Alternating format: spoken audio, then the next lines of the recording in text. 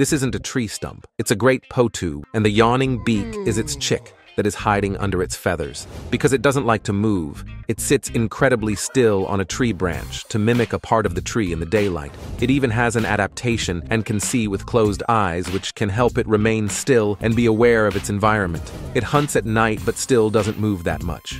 So instead of actively searching for food like other birds that patrol the sky, it sits on its branch and uses sallying, meaning that it doesn't move until it sees a target. Then it flies out and snatches the prey and returns to its perch to eat it. It has adapted to live on tree stumps so much that it doesn't construct a nest. Instead, it lays a single egg in a shallow depression on a tree branch.